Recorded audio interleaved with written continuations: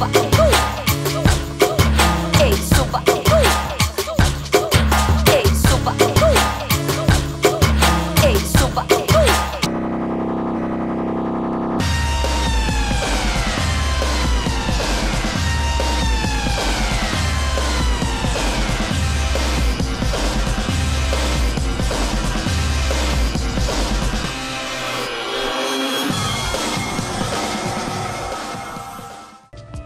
Eh, a días de lo que ha sido una, conmoción muy, muy que creo va a seguir resonando, obviamente, eh, por mucho tiempo, sobre todo por, los vericuetos legales en los que se quieren inmiscuir aquellos que quieren preservar la impunidad y por otro lado el dolor inenarrable que tienen eh, las familias neuquinas, estoy hablando de el, derrumbe en la, en la, cooperativa, el supermercado de la cooperativa obrera. Aquello, una pequeña línea no es una tragedia ni es un accidente pura voracidad capitalista, nada más. No, no, eh, digamos, no son fatalidades, estaba previsto, digamos. Eso tiene que ver con el hecho de que la gente no sirve, lo que sirve es la mercancía. Entonces, si se derrumba, uno sigue una tragedia hasta que se entiende que eso es la voracidad. ¿eh?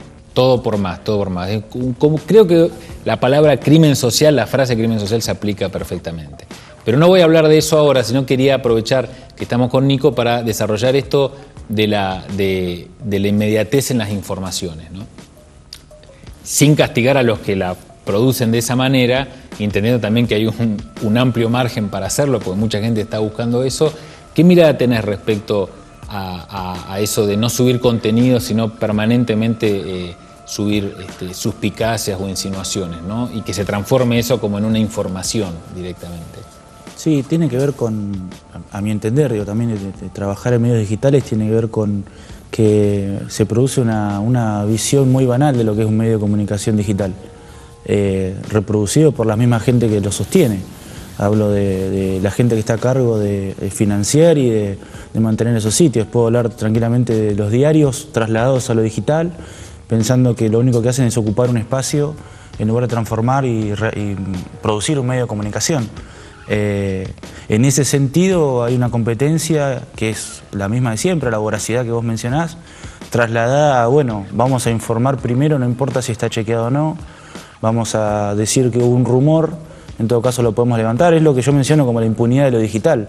En un momento alguien te hace una crítica, vos lo cambiás, te hacen otra crítica, lo volvés a cambiar, sabiendo que te estás equivocando. En el momento cuando vos lo cambiás, estás este, aceptando que esa crítica este, es algo, digamos, te están dando con fundamentos. Y después, bueno, lo, que se habla puntualmente de levantar una noticia, este, o cambiarla, borrarla del lugar en el que estaba. Entonces, si no hay un registro de eso, la noticia nunca existió, pero sí afectó, el impacto está. Y, hay mucho, no sé si decir ignorancia, pero puede que haya muy poca preparación en ese sentido. No se sabe cuando se habló el otro día lo de lo del supermercado en sí, lo de lo, que ocurrió, la tragedia, eh, se reprodujo fielmente lo que uno esperaba. Informaciones cruzadas, medios hablando de otros medios, todo el tiempo este, acusándose de este, dar mala información y, y en realidad sin chequear fuentes o tratando de anticiparse a algo cuando en realidad se están anticipando a lo irreal, porque no estaban dando información, simplemente estaban compitiendo. Y eso se da, en realidad se da en todos los lugares del país, ¿no? Es que, y, creo que se, también se, traduce mundialmente.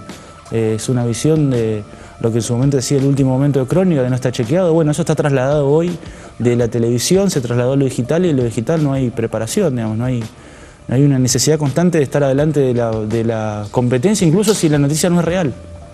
Claro, sí, uno, uno podría echar este, ahí eh, las fieras a los medios locales, pero algo eso es, mundial, digamos. Sí, es mundial y, está trasladado, pero no está tampoco de alguna forma, eh, como decir, no está amortiguado tampoco por una preparación sobre qué hacer en esas situaciones.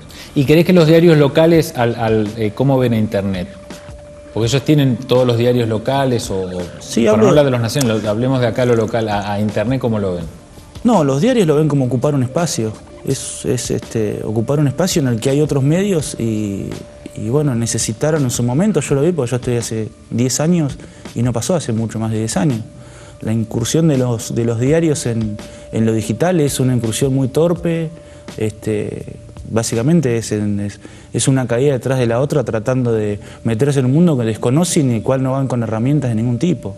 ¿No van con herramientas porque quieren tercerizar todo? Digamos que 10 hagan el laburo de 80 o, porque no, o no van con herramientas porque no... Porque no saben, porque tampoco les interesa. Si uno, lo único que tienen que hacer es preguntar cuánta gente trabaja en un diario digital en otros lugares del mundo y, y en La Nación puede llegar a haber 50, 60 periodistas trabajando solamente en lo digital. Y está bien, más allá de la, ¿no? de la proyección que pueda tener un medio nacional, en lo local no puede ser que un medio digital tenga una persona en Neuquén como tiene un diario regional hoy, o, o, puede ser más, este, más, este, más gente, pero sin preparación, sin estar al tanto. En realidad tiene mucho que ver con, con una visión de los medios del interior también, ¿no? de, medios que se encuentran de golpe con la voz de los de, la, del misma, la misma gente a través de comentarios, es algo que no se sabe, no saben cómo solucionarlo. Este, por primera vez ¿qué, es lo de los comentarios? que ¿Por qué decís que no saben cómo Por primera vez los medios del interior tienen a la par a otros medios de gente que mm, tal vez tenga la misma o mucha más preparación, pero con lo, lo que te decía, al, haber eh, medios digitales que, que, se sostienen porque el costo es menor, eh, pueden empezar a competir de alguna manera. No hablo de Como Rock puntualmente porque no es no es, se trata más de lo cultural, pero hay otros medios de comunicación que están saliendo eh, y que en, uno, en, lo, digital puntualmente no es tan alternativo porque cada vez van creciendo más. Este, y por otro lado, porque la misma gente, los usuarios, participan de los foros, uno lo puede ver en los diarios este, regionales. Eh, no, hablo tampoco de la gente en sí como bueno, la gente de los barrios. Eh, la posibilidad de que, por ejemplo, toda la planta, la planta de funcionarios del municipio, de provincia, eh, estén constantemente haciendo comentarios en los sitios para ganar una posición política sobre algo. Yo lo veo puntualmente en la, en la gestión municipal de Neuquén.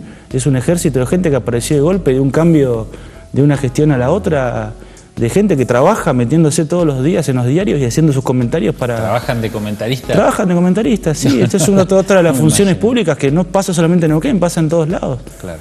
Al tener la posibilidad de, al brindar la posibilidad de los medios también se encuentran con esto. Y esa farandulización o, esa mirada tan, yo creo, eh, eh, eh, hueca, ¿no? De lo que puede ser la información tiene un margen amplio porque mucha gente la, consume. Ahora, lo, que yo te pregunto sin, sin irnos mucho por las ramas, ¿no es también mirarse mucho a la panza? Me da la impresión de que Twitter muchas veces es muy autorreferencial y que realmente a la gente no le llega nada de eso. O, esta cuestión de hablar de lo de Facebook a partir de las revueltas árabes que se genera, es desconocer por ahí otros procesos que son mucho más complejos y más este, subterráneos, porque precisamente son como placas tectónicas que no están a la, a la luz y que efectivamente les importa muy poco y acá la cuestión es publicar y, ver cuánto más se publica. Sí, en lo, digital se nota algo que es muy grave, que es la ausencia de lo que se llama background en, cualquier noticia, más allá de, ya de la ausencia de la corroboración de las fuentes,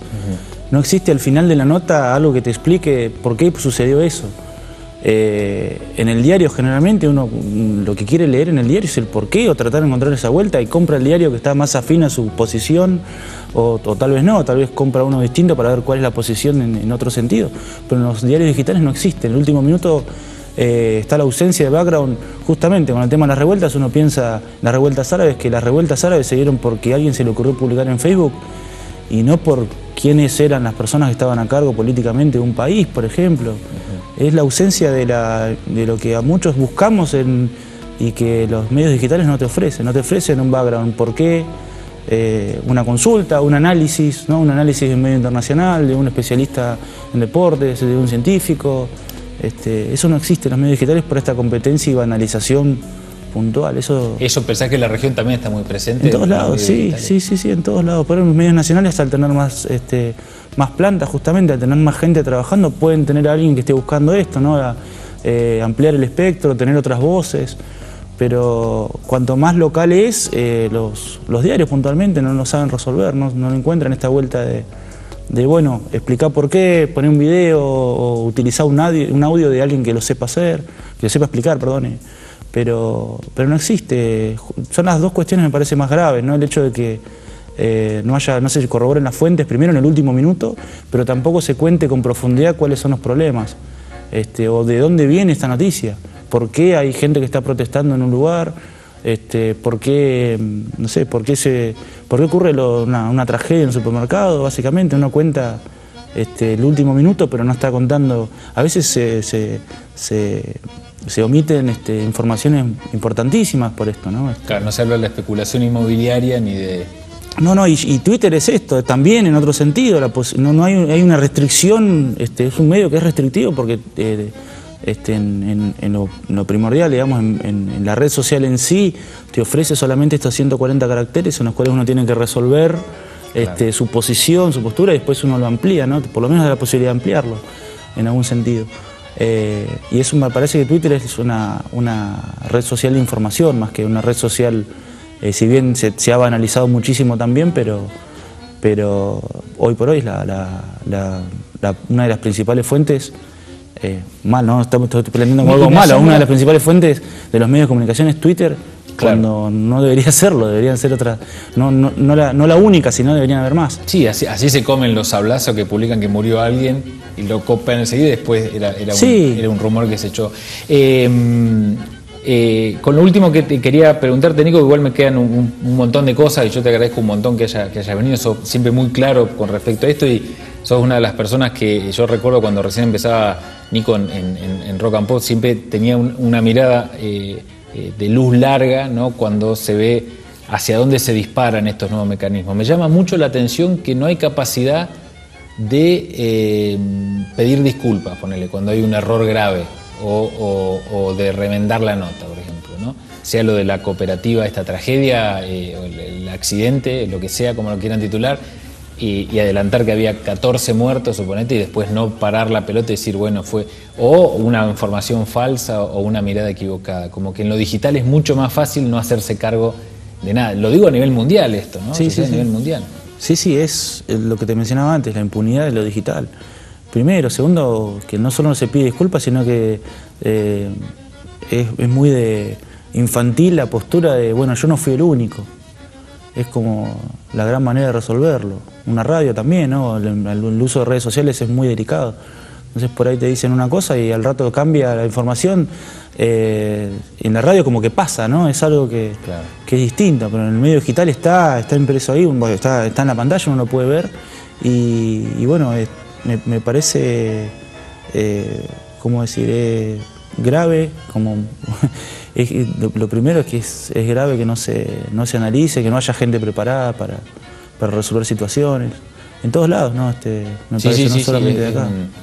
Ah, el hecho de lo que pasó con las elecciones de Venezuela, no hubo de todos los diarios que hablaban de empate, ninguno dijo, la verdad es que compramos cualquier verdura por hablar de algunas cosas. ¿no? pide que esté en la tapa, ¿no? Pero por lo menos brindar información, bueno, eh, en un primer momento se dijo esto, eh, tal o cual persona, buscar, tratar de buscar, no digo señalar un responsable, pero por lo menos uno citar la fuente que le dijo que, no sé, que Chávez perdía por 15 puntos y después de golpe claro, sí, sí, después tienen que salir con otra, información. Nico, te agradezco un montón. Eh, estás en Comahue Rock y estás también trabajando en, algunos diarios locales y estás también con lo del Festival Internacional del Videoclip. ¿Internacional dije bien, no? Sí, te fuiste un poquito. Porque viene alguien de Chile y ya es internacional. En realidad es una línea de cómo Es otra cuestión que tiene que ver con el Festival Patagónico del Videoclip, que se amplió a nivel nacional. Eh, esta es la tercera edición que tenemos por suerte ha crecido, no solo en cantidad de material, ya en estas tres ediciones tenemos algo así como 50 videoclips eh, de la Patagonia, algo que ni, hubiéramos pensado, pero hay una, base de trabajos, eh, la verdad que nos llama, nos llama mucho la atención, no sabíamos que, había tanto material y tan bueno, y ahora además la posibilidad que tienen los realizadores de, mejorar sus productos, sus, videoclips. Eh, como, bueno, a partir de, las cámaras fotográficas tienen la posibilidad de filmar en HD, por ejemplo, y la inclusión de, Internet como otra herramienta de difusión. Eh, los artistas en sí no solamente se difunden a través de la, TV, sino que encontraron la vuelta para, hacer un buen videoclip y, hacerse conocer en otros lugares. Entonces se transformó también en otra herramienta de difusión y eso a la vez a nosotros nos da pie para seguir avanzando con el festival. Ahora se hace en Neuquén eh, nuevamente, la tercera edición en el Aula Magna, el 15 de noviembre. Eh, por primera vez tenemos un jurado nacional que es Ricardo Cohen, Rocambole, el famoso artista plástico que ha estado siempre trabajando con Los Redondos, pero con un montón de artistas más también, que bueno, viene con una cabeza muy grande con respecto a, lo visual, pero también a, cómo resolver cuestiones como un diseño este, diseño de un disco, por ejemplo, cosas, una persona que ah, probablemente pueda tener una charla con la gente también para, para compartir experiencias. Ahí estamos poniendo la, dirección de Comahue Rock para, para, estar al tanto de eso. Nico, te agradezco un montón. Dale. Me Gracias parece que nos debemos un programa más también. Nosotros rápidamente un corte y seguimos con más Cartago.